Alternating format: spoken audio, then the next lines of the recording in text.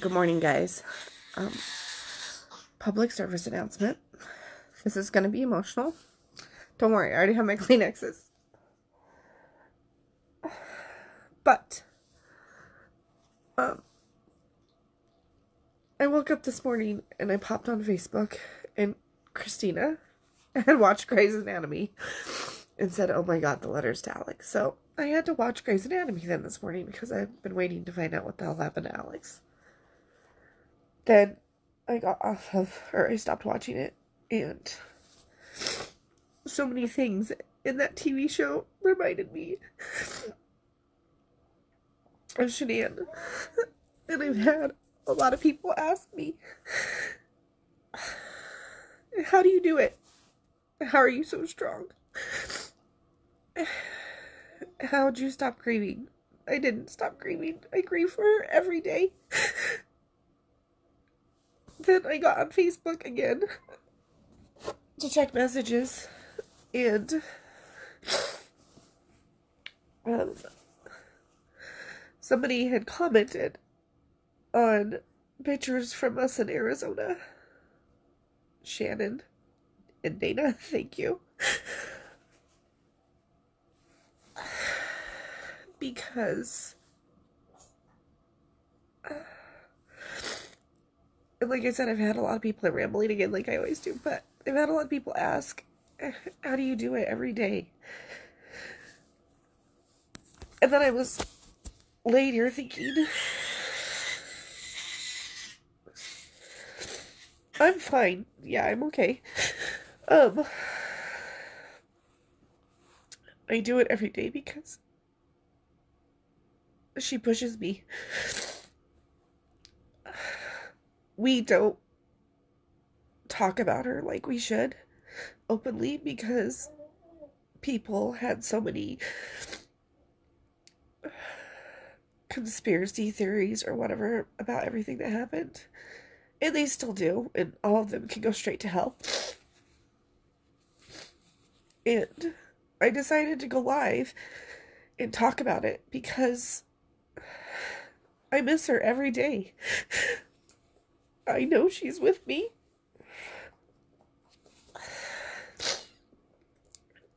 And we should remember her for what she was and what she is and what she continues to do. And the reason I decided to go live this morning and talk about it was because we watch her videos all the time. We go back and look at her pictures. And remember the person that she was and is to us. And I say was and is because she's still with us. She's still pushing us. She said she wanted to leave her mark on this world, and she is. She's doing it through all of the people that she loved and cared about.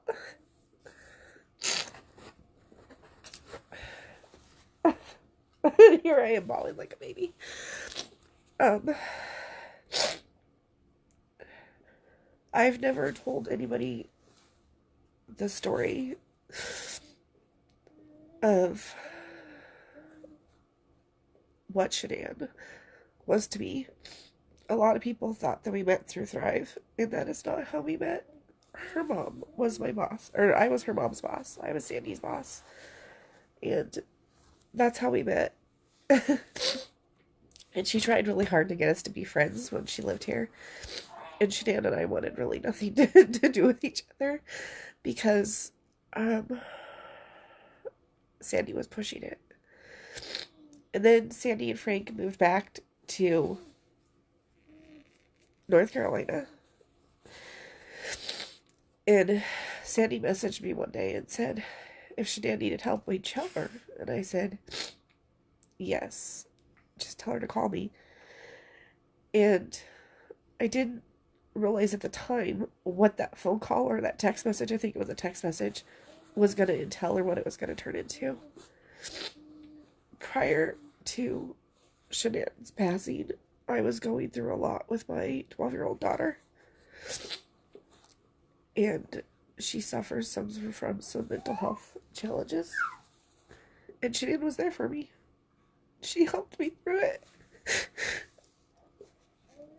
She helped me be a better mom. She helped me not go crazy with what was going on. And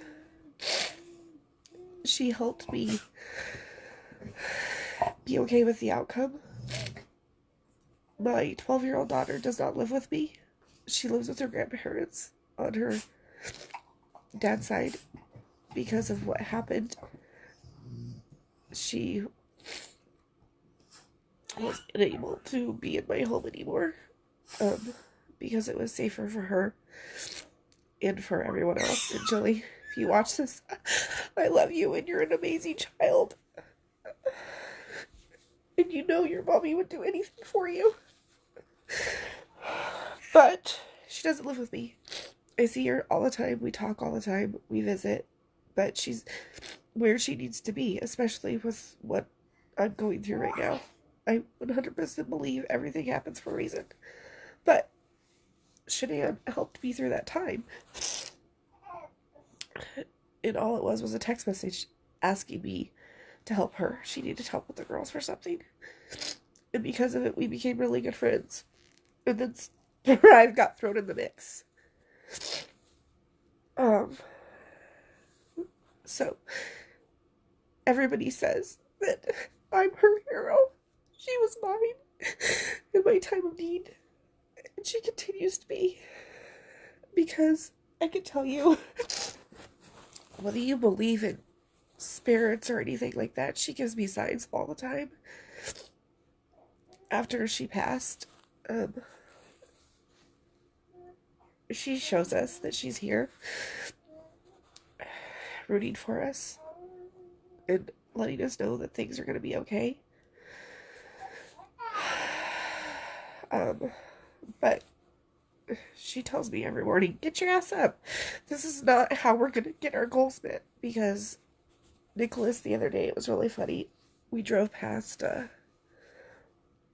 where we would go to go to her house. We drive past there like on a daily basis. It's one of the main roads out of out of Firestone. And I asked him, and I don't know why I'm sharing all this with you guys, but I am. Maybe it's my form of therapy. Uh, but I asked him, I said, Do you think I would be where I am in my Thrive business if Shanann was still here? And he said, No, Mom, you'd be further. And I said, Why would I be further? And he said, Because Shanann would let you settle. She'd push you harder. She would ask you every day, What's our goal today? What are we going to achieve today? And he was right. Like, I am my own worst enemy 90% of the time. We all are. Um, we have goals and we make excuses and we want things in life and we find the easier way out because we're scared of what we can actually accomplish.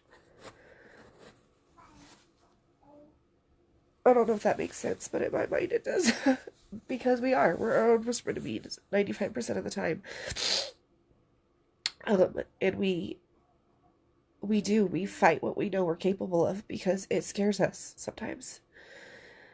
And I watched Grey's Anatomy this morning. I don't know why. It's thanks to Christina. And then I saw something of Shanann pop up. And it was almost like she was speaking to me saying, Stop it. Stop feeling sorry for yourself. Because we do all the time. And I don't feel sorry for myself in the sense of like, oh my god, I got cancer. There's a reason I have cancer, and I know that. It's a lesson either I'm supposed to learn or somebody else is supposed to learn from it. I feel like God is using me to teach myself or others something about it. Maybe make more awareness. Who knows? But there's a reason why I got cancer. And there's a reason why so many people have been brought into my life I told somebody the other day, nobody will be ever ever be able to fill her shoes. So she just keeps bringing me little bits and pieces of her. because she was like a force to be reckoned with. And oh, she she just I can't even tell you like she was so vibrant and loving and outgoing and caring and such an amazing mom. She's like a sister I never had. Which says a lot because I have two sisters. And I don't to talk to them. I'm a.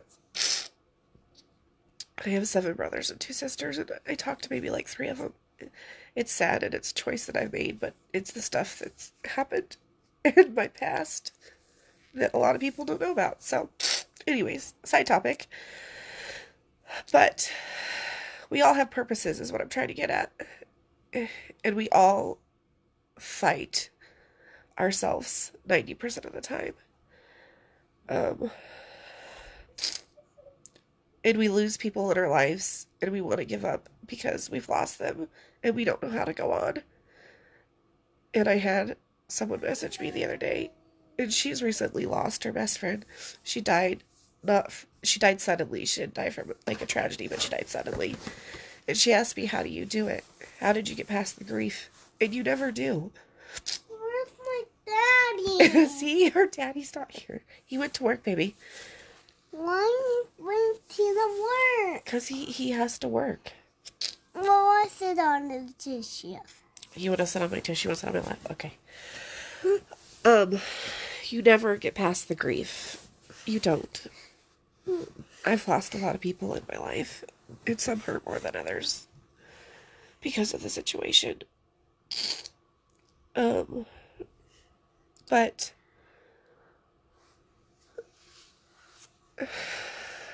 you never get past the grief. You just when you you think you're starting to, something happens or reminds you or hits you like a ton of bricks. And it brings you back to before it all happened.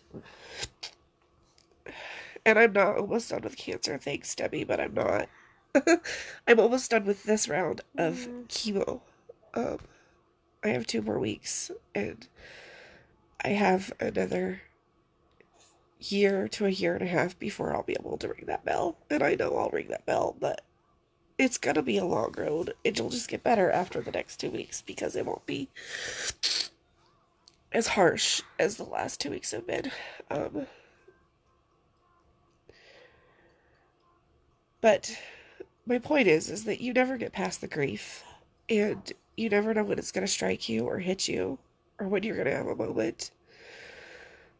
My grandmother, and I'm not just grieving one person. Shit, I'm grieving. Fuck, sorry for the cussing. Um, I'm grieving several people. Shanann and the girls and Nico. And then after she passed, my grandmother that raised me, which was like my mother from the time I was a baby, she passed that December. So they died within five months of each other. That was a hard pill to swallow. Because they both were my people. I talked to them every day. And they're both gone. And I know that they're not like gone, gone, because I still talk to them. But the grief never stops. It doesn't. And you just have to find the little things that keep you pushing, like this. This little thing pushes me every day. And Jackson, and Nicholas, and Juliana. And I know I'm sitting here crying. I'm completely fine. I'm just, it's emotional to talk about. And it's hard, and we don't talk about it. We probably should talk about it more. Um, but I just wanted to tell everybody like grief doesn't stop. It doesn't stop hitting you. It doesn't go away. People think because i show my smiling face on facebook that i don't cry or i don't miss her. I miss her all the time. I miss her every day. I have little reminders all the time and I miss my grandmother and I miss my grandfather and I know they're all up there together waiting. But I'm not going to meet them for a very long time again and give them hugs because there's a purpose as to why everything happens. So it's okay okay to cry and it does, it cleans the soul, you're very right. Um But after, I don't know why, after watching Grey's Anatomy this morning and then seeing that on Facebook, I felt I needed to just tell people, like, you're stronger than you ever think you are. You're your own driving force. um, and believe in yourself. Believe in what you're capable of and what you can do. And I should take my own advice. I know I can see her, hear her in the back of my head right now. Listen to yourself. Um, because you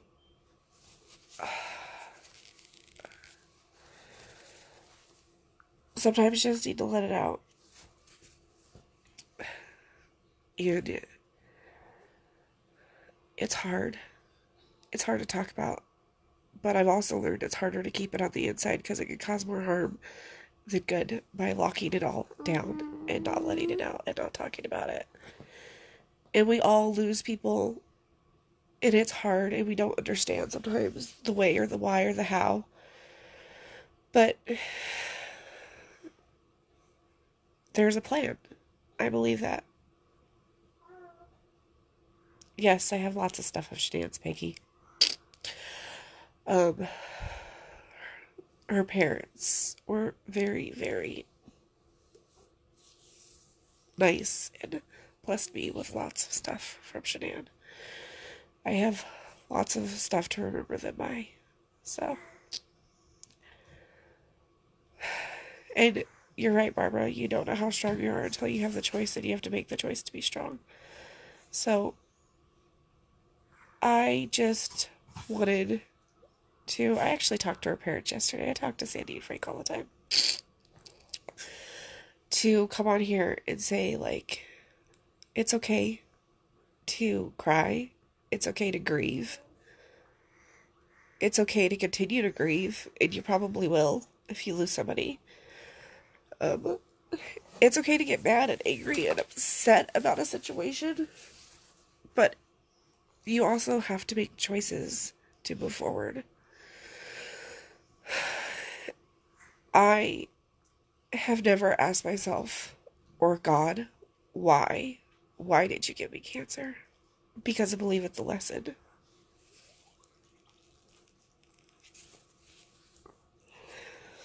I sometimes wonder how much more I can handle, but I believe everything happens for a reason. And I don't know the reason as to the why yet. And I may never know. You may never know the reason to the why as to something happened. Because it may not be your lesson to learn. But I do believe that we're we're here to teach each other things.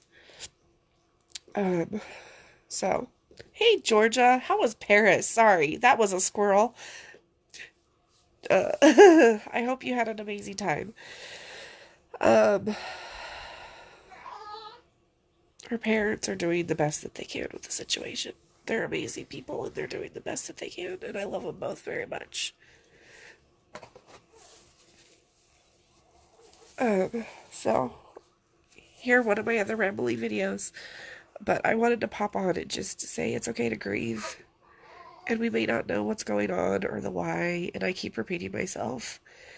And I also kind of had an epiphany because I've been struggling a little bit and I know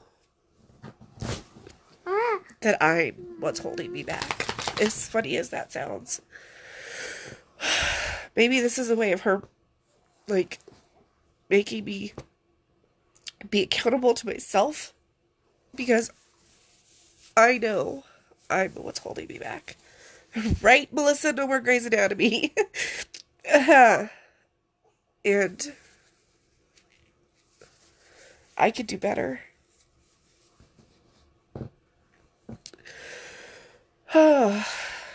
so, thank you for hopping on, all of you, and watching me bawl my eyes out this morning. Um, I hope this helped somebody. I don't know if it made sense. I appreciate everybody that, that supports and loves and reaches out and prays for me and my family because prayer is a phenomenal thing.